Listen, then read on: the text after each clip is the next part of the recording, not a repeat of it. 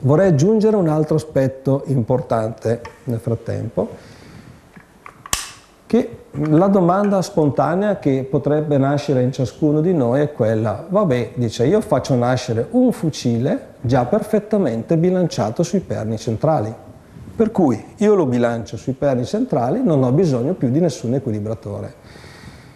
Magari fosse così perché la nostra vita sarebbe estremamente più semplice, ma noi siamo morfologicamente diversi, abbiamo posture diverse, abbiamo impostazioni di tiro diverse. Siamo troppo veloci certe volte, siamo troppo lenti altre volte. Quindi non è detto che un fucile bilanciato perfettamente sia effettivamente la bilanciatura di cui noi si abbia bisogno. Pensiamo solo ad un tiratore che è lento e che deve eh, velocizzare il proprio movimento, alleggerirà un po' di più la canna, appesantirà il posteriore. Possiamo pensare anche ad un tiratore che è molto spostato in avanti nella sua postura. Voi capite che cambiare l'asse di qualche grado del proprio corpo vuol dire tantissimo rispetto ad un'esigenza di bilanciatura. Ecco perché non esiste di fatto il fucile perfettamente bilanciato, ecco perché c'è l'esigenza di avere un equilibratore, un bilanciatore come lo Zoli BHB che permette di identificare e trovare la miglior bilanciatura per, ottimale per ogni tiratore. Un altro aspetto estremamente rilevante e direi quasi unico del Zoli BHB è che per quanto riguarda le canne, noi abbiamo delle piccole calamite di 3 grammi l'uno che si posizionano esattamente sotto la stina della canna e che possono essere aggiunte l'una all'altra fino a raggiungere la, la, diciamo, la lunghezza totale della stina e possiamo arrivare a quasi eh, diciamo 70 grammi sotto la stina, volendo si può anche continuare, ma noi riteniamo sempre più importante rimanere contenuti laddove la bilanciatura magari che richiede più peso ma che ci permette di essere controllata, quindi nella zona centrale del fucile, mentre invece poi il, diciamo, per quanto riguarda il calcio abbiamo eh, il questo tappo che una volta svitato nel suo interno contiene 6 dischi da 11 grammi l'uno e ancora una volta a seconda delle esigenze abbiamo la possibilità di poter raggiungere eh, l'equilibratura o la bilanciatura eh, ottimale. In questo caso noi abbiamo la possibilità di trovare mille bilanciature diverse ma senza mai snaturare le caratteristiche originali dell'arma, perché in pochi secondi io non vado a influire sulla struttura dell'arma, ma la mantengo eh, originale, customizzandola, ma in pochi secondi rendendola, tra l'altro, anche rivendibile a qualsiasi altro acquirente nelle condizioni con la, con la quale l'arma era uscita dal produttore o dal negozio. Per cui questo prodotto presenta veramente delle grandi innovazioni, della grande flessibilità.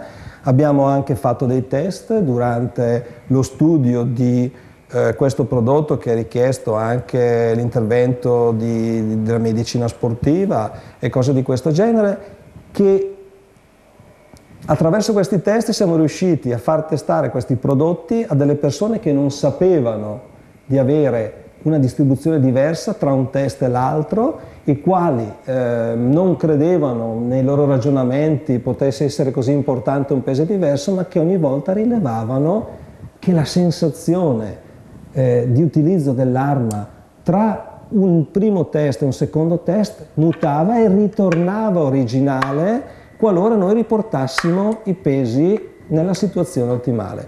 E tutto questo ha richiesto 14 mesi ed ecco perché noi riteniamo che sia estremamente importante questa innovazione che noi abbiamo introdotto perché abbiamo introdotto un elemento di customizzazione in più sul prodotto che darà grandi soddisfazioni e soprattutto ancora una volta ragionamento di Ezzoli, la possibilità di esprimere al massimo le proprie potenzialità, perché è questo che deve fare un fucile.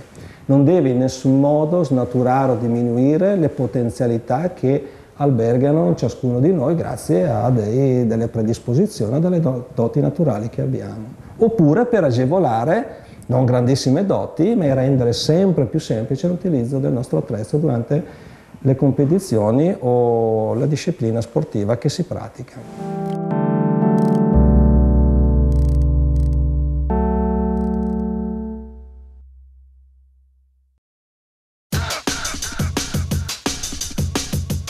Amici tiratori, è in edicola il numero di ottobre di Army Magazine, rivista specializzata del settore armiero.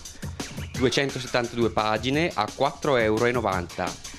All'interno un inserto di 32 pagine dedicato alle gare, ai prodotti, ai protagonisti e alle novità di questo bellissimo sport, il tiro a volo.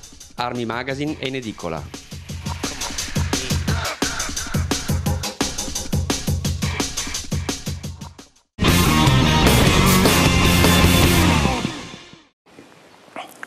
A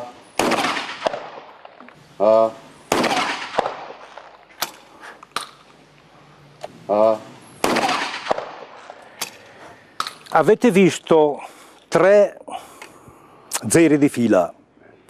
Attenzione bene, come mai l'amico mio Simone ha fatto tre zeri? Ha fatto tre zeri perché lui ha messo in colloquio la mente cosciente e il subconsciente. Attenzione bene cosa sto dicendo. Questo è un tiro istintivo e come tale bisogna rispondere.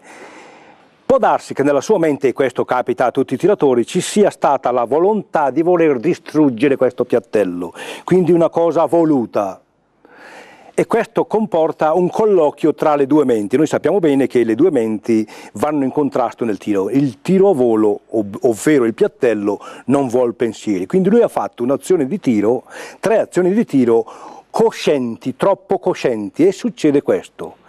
Ecco perché quando si insegna tanti allievi fanno zeri perché devono mettere a fuoco cosa devono fare. Quindi è bene che ogni tanto eh, vengano lasciati a loro stessi, cioè mandarli in automatismo. L'automatismo non permette zeri, o perlomeno gli zeri si faranno secondo lo standard storico. Quindi adesso vediamo se l'amico Simone riesce a trovare quell'automatismo per colpire questo bersaglio. Riprova.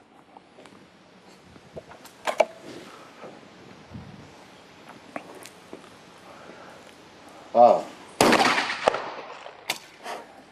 Avete visto la differenza fra prima e dopo, quindi una differenza impercettibile, ma dove sta? La mente ha interferito nel subconsciente del tiratore e questo è quello che succede nelle gare, perché nelle gare c'è troppa paura e con la paura si va fuori dalla pedana, si esce dalla pedana, si va nel futuro e il futuro è tutta paura, non solo, non solo nel tiro ma anche nella vita sociale. Quando uno pensa al futuro si preoccupa sempre un po' troppo.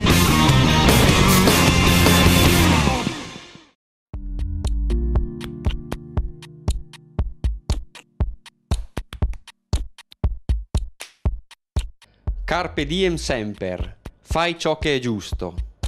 Come cogliere l'attimo fuggente e vivere felici. Quando la sera torniamo a casa dal lavoro e siamo incolonnati nel traffico tentacolare della metropoli invivibile, mentre guidiamo o siamo trasportati da un mezzo pubblico, spesso ci capita di pensare alla gara di tiro di domenica prossima.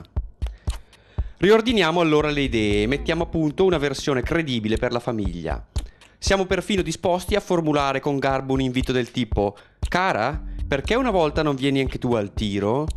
Domenica prossima c'è una bella gara pur sapendo che saremo respinti con perdite.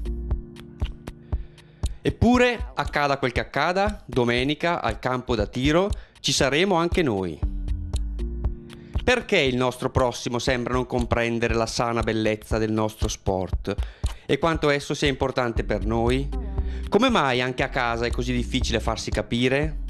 Perché è in atto un'assidua congiura da parte di gente che ci si sveglia presto la mattina pur di metterci i bastoni fra le ruote? Ma tant'è. Sembra che non ci possano vedere felici, contenti e rilassati, senza fare a meno di stigmatizzare che, per andare a sparare, li abbiamo trascurati, peraltro come al solito. Chi avrà ragione, noi o loro? Forse un po' entrambi, chissà. Comunque mi tornano spesso alla mente le parole di un vecchio a me tanto caro, che diceva ai tordi bisogna tirargli quando passano, intendendo che le cose piacevoli devono essere fatte al momento che capitano e fin quando è possibile farle. Anche perché, per noi tutti, verrà un tempo in cui, ancorché vivi ed in buona salute, non saremo più in condizione di fare ciò che è bello e per noi importante.